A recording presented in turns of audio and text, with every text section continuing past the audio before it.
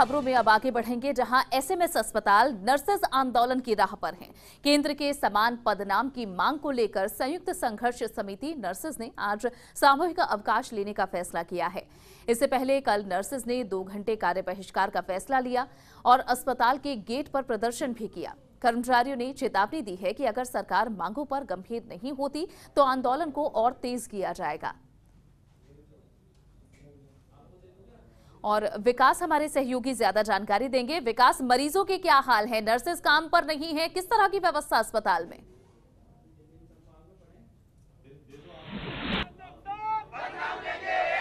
इस वक्त हम खड़े हैं एसएमएस अस्पताल, जो प्रदेश का सबसे बड़ा अस्पताल है, वहाँ के मुख्य द्वार पर जहाँ की स्थिति है कि ये वो नर्सेज है जो वार्ड के अंदर एक एक मरीज़ की देखभाल करती है, उनके इंजेक्शन लगाने से लेकर तमाम तरह के जो काम है, वो काम देखती है।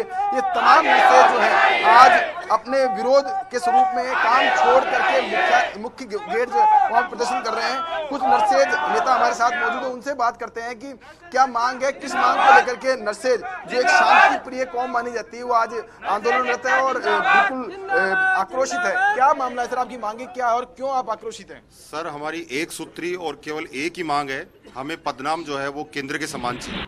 जो केंद्र में नर्स ग्रेड फ़र्स्ट का जो पदनाम सीनियर नर्सिंग ऑफिसर और नर्स ग्रेड सेकंड का पदनाम नर्सिंग ऑफिसर है वो पदनाम हमारे को चाहिए।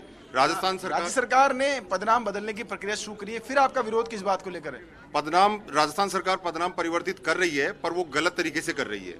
वो राजस्थान में जो नर्स ग्रेड सेकंड का जो पदनाम है वो नर्स ग्रेड फ़र्स्ट को दे रही है। जो केंद्र में नर्सिंग ऑफिसर का पदनाम है वो नर्स ग्रेड सेकंड का है और राजस्थान सरकार वो यहाँ पे नर्स ग्रेड फ़र्स्ट को वो देना चाहती है। जबकि हमारी इस तरह की मांग से नर्सेज में दो फाड़ की बात भी सामने आ रही है। आप भी सीधे जुड़े हुए हैं। किस तरह की बात है? दो फाड़ जैसी कोई स्थिति नहीं है।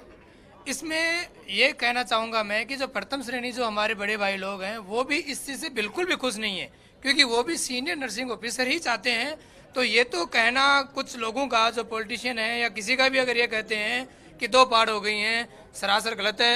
वो भी इस चीज़ से आज आपने एक दिन का सामूहिक अवकाश लिया आगे क्या रहेगी आंदोलन की रणनीति सरकार किस तरह का वार्ता होती है बिल्कुल सर। आज जो हमने सामूहिक अवकाश लिया इससे पहले कल हमने दो घंटे का कार्य बहिष्कार किया था और परसों हमने काली पट्टी बांधी थी। आज हमने एक मैसेज दिया है कि हम बड़े शांतिपूर्वक तरीके से जिसमें हमने इमरजेंसी और आईसीयू को इन्वॉल्व नहीं किया है बाकायदा प्रशासन को इससे अवगत करा के आज सामूहिक अवकाश लिया है स्वेच्छा से लिया है।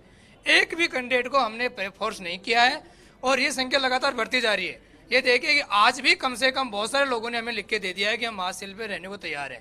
लेकिन हमने फ़िलहाल आज का दिया है। आगे, आगे की क्या रणनीति रहेगी? आगे आज हम अभी हमारी जो भी कार्यकारिणी है एग्जीक्यूटिव कमेटी की उसको हम बैठ के डिसाइड करेंगे कि अगर इस चीज़ को या तो रुक जाता है आज हमें कोई ठोस प्रमाण मिल जाता है। अदरवाइज़ हम आगे इसका जल्दी ही आप लोगों को आगे की जो रणनीति रहेगी उस पर